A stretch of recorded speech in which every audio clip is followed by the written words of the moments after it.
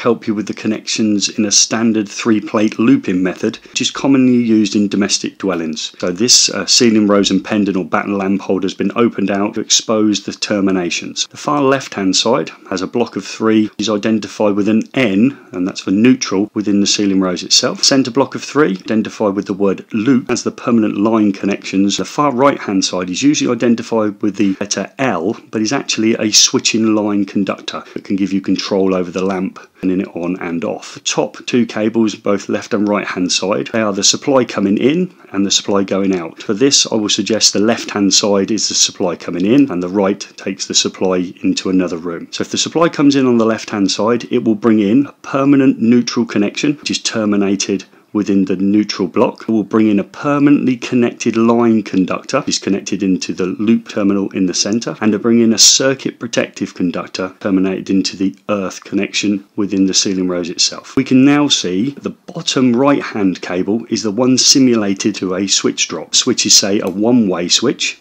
we can see how the switching conductor goes to the switch and returns. We take a permanent line from the looping terminal in the center goes down to the one-way switch and is connected into the common terminal. We have a switching line conductor returning. In this case, they've used twin and CPC cables and the conductor is blue, but identified both ends with brown sleeving because it isn't a neutral. It's a returning switching line conductor and it's terminated the L terminal, which really is for switching line, so you have control over the lamp. CPC once again is terminated in the earth terminal within the ceiling rose itself.